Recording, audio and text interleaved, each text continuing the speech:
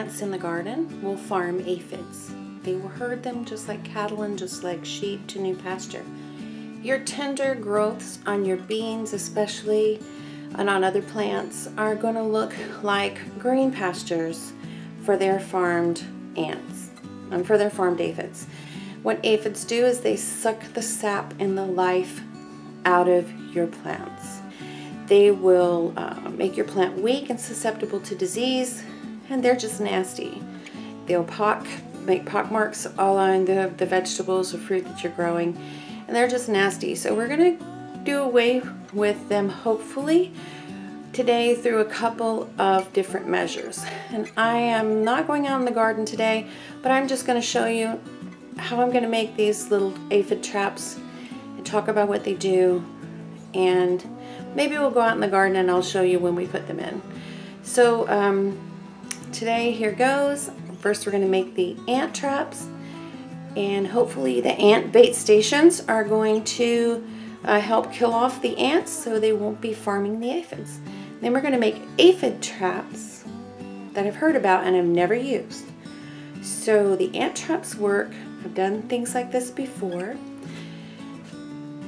The aphid traps I've heard about and I've seen a couple of other homesteads do something similar so we're going to put some of those together too but here's the ant traps. Good morning y'all. I am going to whip together some ant baits to go in my garden. And I'm going to be using some really inexpensive things that you can purchase really cheaply. I went to the Dollar Tree and bought these. They were like four for a dollar. Little Tupperware containers. They only had these longer ones. I'm sure you could find some square ones if you wanted. It might make it easier. And in these, I'm going to put some of these. These are Raid Ant Baits. And there are eight to a package. I got this at Walmart for around $3. And what I'm going to do, take one of these and I'm going to put it in here. I'm going to drill little holes on each side near the base. But right now all I'm going to do is glue these in. And I'm going to hot glue these in. And if you can see, this doesn't go all the way to the bottom. Now I just, you may not have to glue it in, but I'm just going to take the extra step. I'm going to glue it in here on the bottom with the hot glue gun. Then I'm going to go outside or bring the drill inside. Let me go do that now. Let me get the drill. Okay, I'm back with drill in hand. When this is going to go into the garden, let me show you something. If I do this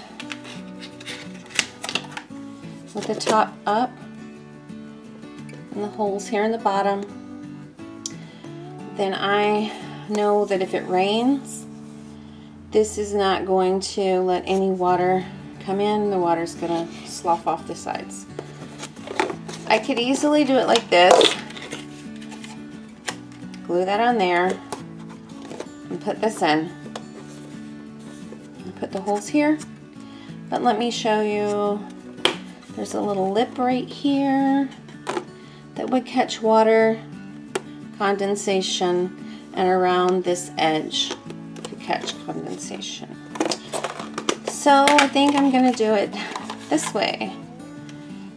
I'm to drill, I'm just to do one for you, and we'll get back to the rest of the video. I want to drill this, I'm to hold some good pressure.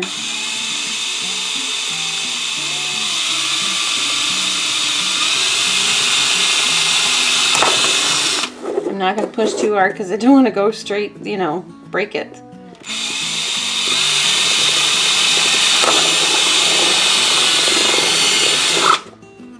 And then you have a hole.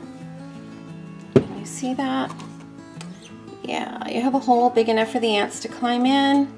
As this sits on the dirt, that's not going to be too high up, you know, for them to get in. It's going to be right there because they live in the ground. It's an ant bait station. If you haven't watched our video on the rat bait station that got rid of my rats that came in. I live by a swamp on one side and a lake behind us. And there are rats. I have chickens, I have compost bins. They like to come out at night and get what the chickens didn't eat. We got rid of those things. Now I'm just putting the glue in there and I'm going to force this down on the bottom. Alright, held it for a few seconds. And now that is securely glued to the bottom. it has holes in it.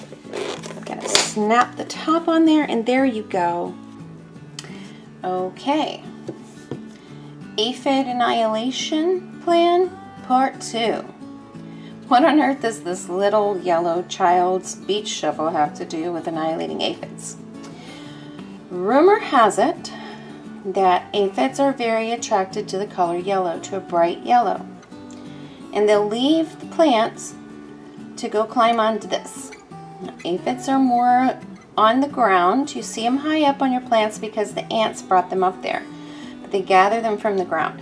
So I am going to slather these, these two little yellow shovels, with petroleum jelly, and I just picked this up at the Dollar Tree. You can use whatever kind of petroleum jelly, does not have to be a name brand. I don't think they're too picky. This is just to get them trapped. They can't get off of it. So I'm going to slather both of these with petroleum jelly on both sides. Then I'm going to find a place to put them in the garden. Okay, so I haven't even been outside for 30 seconds with these shovels. I haven't even hung them up or put the jelly on them. And I want to show you what's happened. See those?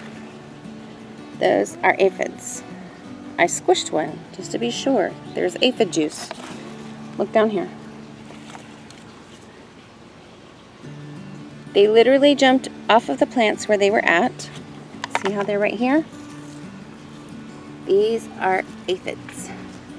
Nasty little creatures right there. Okay, it's the next morning and I'm checking on these yellow aphid traps we put out here. And honestly, I don't see, there's like two on there. And there's plenty on these beans. Hmm. Let's check this one. Now this one has quite a bit more on it. I'm not sure if you can see that.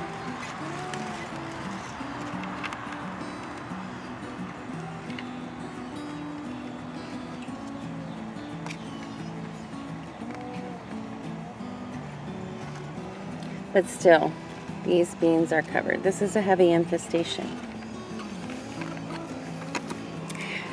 So I'm thinking that the aphid trap was not really an aphid trap at all. Maybe it is, maybe it isn't, I don't know. Maybe this infestation is just too big.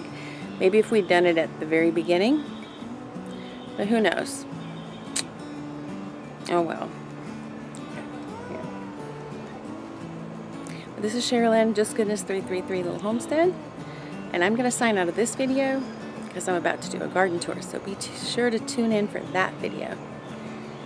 Until later, bye y'all. Happy gardening.